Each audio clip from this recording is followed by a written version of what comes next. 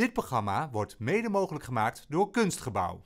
People, help the people. And if you're homesick, give me your hand and I'll hold it.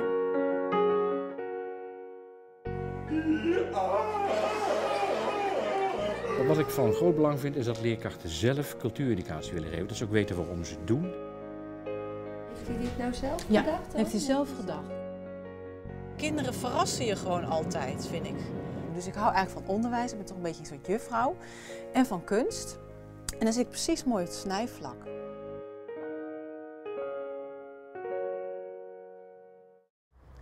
Edith stond jaren voor de klas als dansdocent, maar werkt nu als teamleider bij Kunstgebouw.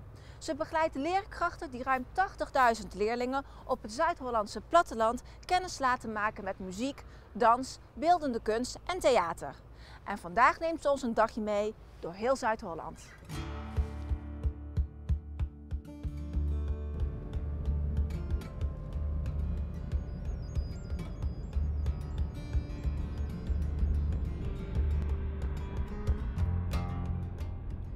Wat is jouw functie precies binnen Kunstgebouw? Eh, ik ben eh, teamleider cultuureducatie. En eh, ik ben eh, verantwoordelijk voor twee educatieve programma's. Die organiseren we voor de scholen en die, die kunnen ze zeg maar bij ons inkopen. En eh, daarnaast ehm, speel ik ook een rol in de professionalisering. Zeg maar trainingen voor eh, leerkrachten en instellingen eh, in de provincie van Zuid-Holland. Het platteland, zoals wij dat zeggen. En wat is ehm, de doelstelling van jullie organisatie? Wat willen jullie hiermee bereiken? Nou, eh, wij hebben, vinden cultuureducatie belangrijk voor de vorming van kinderen, hè, basisschoolkinderen. Eh, nou, vooral belangrijk vinden we ook een brede vorming, dus natuurlijk ook met cognitieve vakken en sport. Maar we vinden dat cultuureducatie er ook bij hoort. En we vinden ook dat het voor alle kinderen bereikbaar zou moeten zijn. Hè. Dus, en dat geldt dus ook voor alle kinderen in Zuid-Holland. En in Zuid-Holland heb je best wel heel veel hele kleine gemeenten. Eh, met wat minder budget, wat minder mogelijkheden, wat minder faciliteiten. En die kunnen wel wat hulp gebruiken. En daar, eh, nou, daar, daar, daar zijn wij dan. Waarom is cultuureducatie belangrijk? Cultuureducatie is belangrijk omdat je eigenlijk jezelf leert kennen en de omgeving waarin je leeft. En dan bedoel ik eigenlijk de cultuur waarin je leeft, de mensen om je heen. Je leert over jezelf in de zin van wat je mooi vindt, smaak, wat je affiniteiten zijn, wat je waarden en normen zijn, wat je belangrijk vindt, wat je geschiedenis is. En dat leert je eigenlijk dat je eh, eigenlijk beter kunt zeg maar, anticiperen op dingen die er om je heen gebeuren. Dat, eh, daarom vinden we het belangrijk. In het kort, want ik kan er wel een dag over hebben als je het zou willen.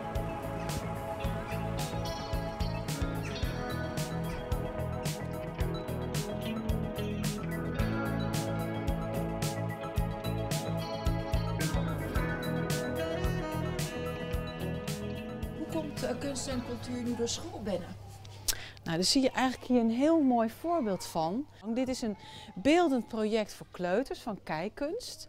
Want we hebben kijkkunst als een voorstellingsprogramma, of eigenlijk een programma waarin kinderen leren kijken naar kunst. En dit is het kunstwerk. Dat is van Fransje Kielaars en die is heel bekend. En zij eh, werkt heel erg met hoe kleuren, zeg maar, eigenlijk zou je kunnen zeggen, communiceren. En het is echt heel leuk te zien hoe eigenlijk deze school dat heeft gecombineerd met ook eh, andere leergebieden. Want kinderen leren eigenlijk hiervan bewust kleurgebruik en wat ze zelf ook mooi vinden. Dus ik zie dat ze hier ook opdrachten hebben waarin ze eh, zelf mogen kiezen gekleurde stroken op papier die je leuk vindt. Hè. Dat is voor kleuters eigenlijk van best een prima vraag. Maar je ziet ook dat ze lotto moeten maken en dan moeten ze kleurverschuivingen doen. Dat zie je eigenlijk hier. Hè, van licht naar donker. En voel aan de lapjes. Nou, dat gaat over textuur natuurlijk. Hè, bewust worden van ma- materialen, want door die textuur, of die glimt of niet glimt, dat doet iets met die kleur. En het is heel leuk om te zien dit. Ik hoorde ook net dat ze, eh, ze ook eh, hebben leren mengen. Hè. Dat past er ook heel mooi bij. Dus je ziet hier echt letterlijk een voorbeeld van hoe de kunst in de school komt. Wat je nu nog niet ziet is eigenlijk, dat noemen wij doekunst. En dat zijn eh, projecten waarin kinderen creatief aan de slag gaan, beetje zoals dit. En dan staat dus hun eigen creativiteit centraal.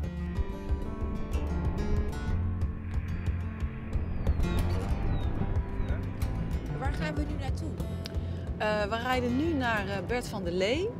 En Bert van der Lee is schoolbestuurder van uh, bestuur O2A5 en Alblasserwaard. En ehm, nou, ik, ik, heb wel eens een gesprek met hem, zo'n beetje van, van wat verwacht je van ons, wat kunnen we voor je doen, hoe kan het beter. En dat doe ik eigenlijk nu ook weer. Hey. Goedemorgen. Hoi. Hoi Bert. Welkom hier Hoi. in het Bruisend Hart. Bert van der Lee heeft nu een groot overleg met leerkrachten van de 28 scholen van O2A5 over de speerpunten van hun onderwijsbeleid. En hierin blijkt cultuureducatie een belangrijke rol te spelen. Lekker zitten. Nou, dit is wel een hele leuke samenloop van omstandigheden. Want ik ben hier natuurlijk om nou, weer eens even te praten over uh, de beetje tussenstand van ja, onze samenwerking met uh, jouw bestuur. En jullie hebben het vandaag eigenlijk over de speerpunten. We hebben voor de, ons voorgenomen voor de komende vier jaar om cultuureducatie en techniek als een apart speerpunt te benoemen. En daar zal ongetwijfeld vandaag ook door de mensen over gesproken worden hoe ze dat met elkaar in de klas gaan doen. Waarom is het een speel, speerpunt?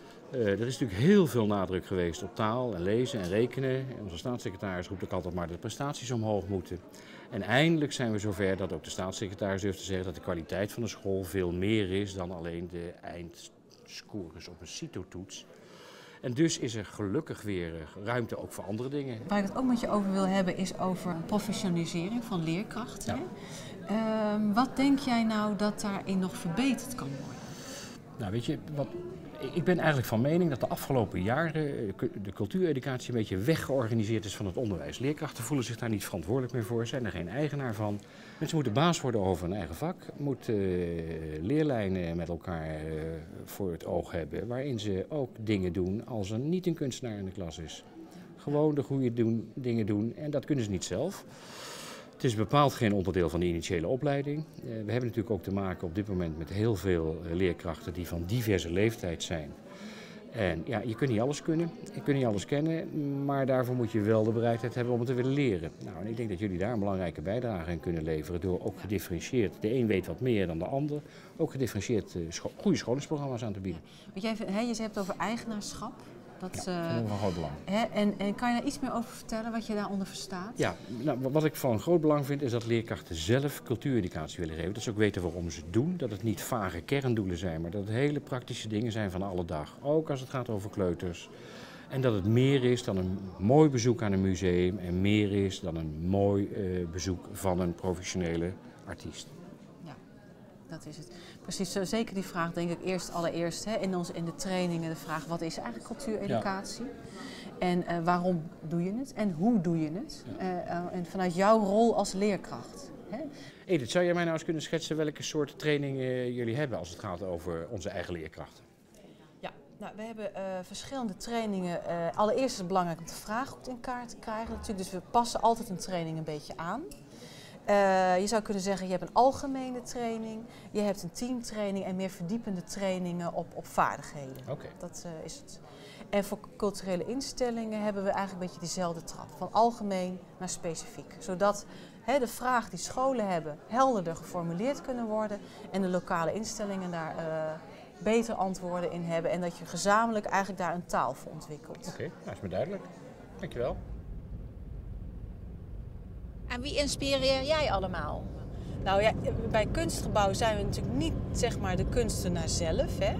maar wij zijn eigenlijk een, een sleutelfiguur tussen scholen en, en kunstenaars of, of gezelschappen. Uh, wat wij wel doen is dat wij, dat, daar, zijn we, daar gaan we ook zo naartoe, dat wij educatief materiaal schrijven voor de leerkrachten om hen eigenlijk een soort handvatten te geven van ja, hoe kan je een leerlingen nou voorbereiden op een voorstelling of een beeldend werk en hoe kan je dat ook verwerken.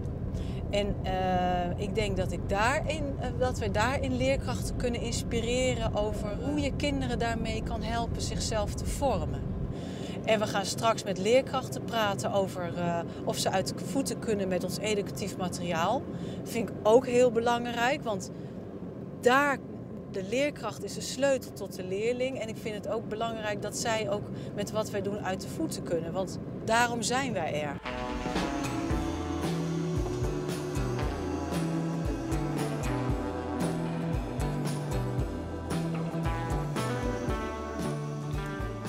Allemaal. Fijn eh, dat jullie eh, er zijn. We hebben het vandaag eh, over ja, hoe jullie als leerkrachten uit de voeten kunnen met eh doekunst, projecten van doekunst. En ehm, nou, je hebt het al ingeleid waarschijnlijk dat, ook, eh, dat we ook online opdrachten ontwikkelen, waar, die, waar leerlingen zelfstandig mee kunnen werken. En met kijkkunst zijn we daar al een stukje verder mee dan doekunst. Dus da- daar laten we een voorbeeld van zien en dan wil ik vragen of jullie willen reageren. Pak even de laptop. Je ziet nu een opname van een, eh, van een jongen uit groep 6. En dat geeft gewoon wel een goede indruk.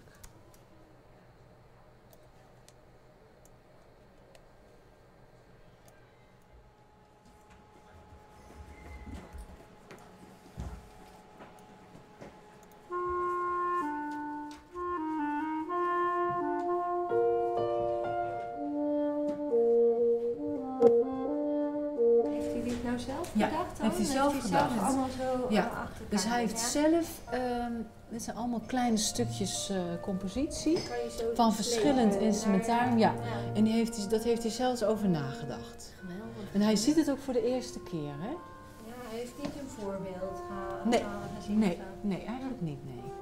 Je, hebt, je kunt zeg maar eh, zes lagen kiezen, hè, dus zes geluiden tegelijk. En, en dat zie je. Dit speelt zich allemaal op hetzelfde momentum af.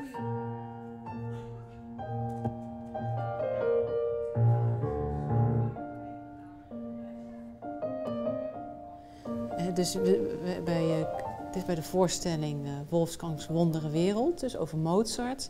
En eh, dit, dit noemen we dan een tool. En die kunnen we eigenlijk zeg maar inhangen op de website, de, de nieuwe website. En dit is dan het leerlingengedeelte.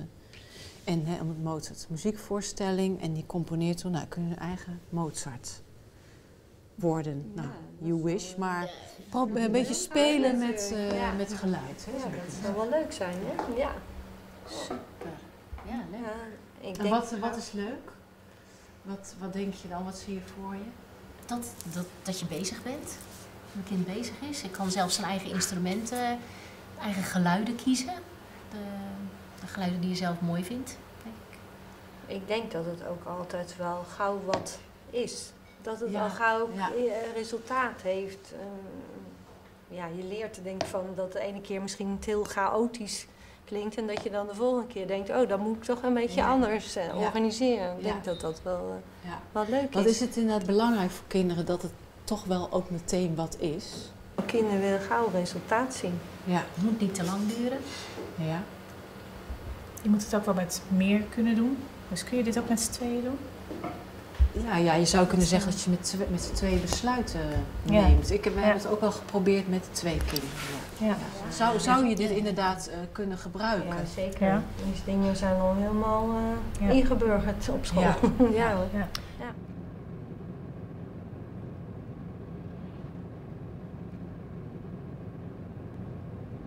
Wat is jouw link met kunst en cultuur? Ik ben eh, naar de dansacademie gegaan.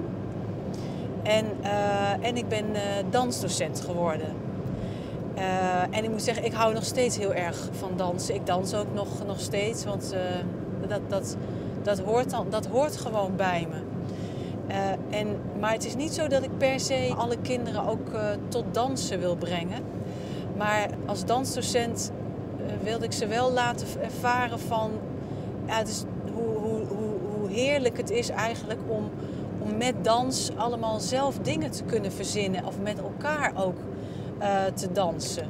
Echt vind ik genieten. Dat ik wel soms tot ontroerends toe weet je, aan de kant eh, zat om te kijken. Omdat wat leuk is van kinderen, als ze, als ze betrokken zijn, dan gaan ze ook. En dan, eh, dat is heel mooi om te zien, vind ik. Dan heb je echt een heel mooi moment samen. Ten slotte bezoekt Edith vandaag de voorstelling Beerdoe van acteur Niels Brandaan Kotterink. binnenkomen. Zijn voorstelling is onderdeel van de vele programma's die Kunstgebouw aanbiedt.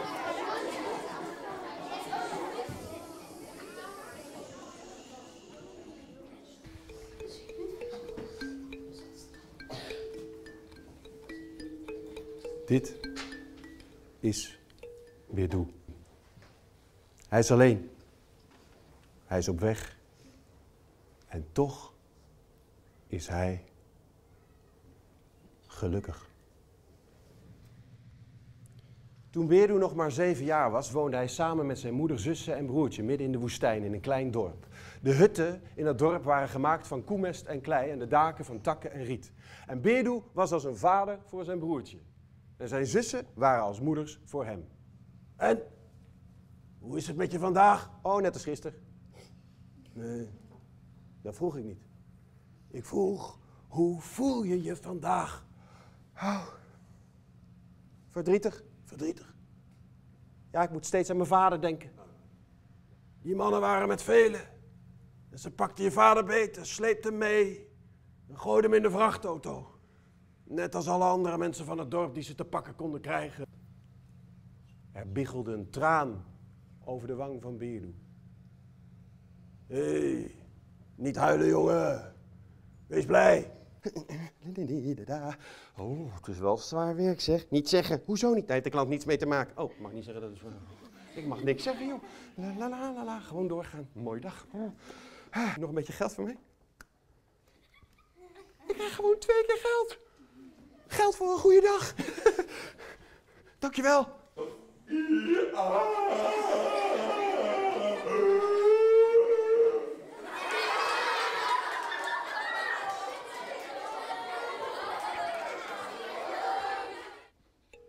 Maar Bidou, je kan ons toch niet zomaar in de steek laten? Je hebt mijn hele gezin gelukkig gemaakt.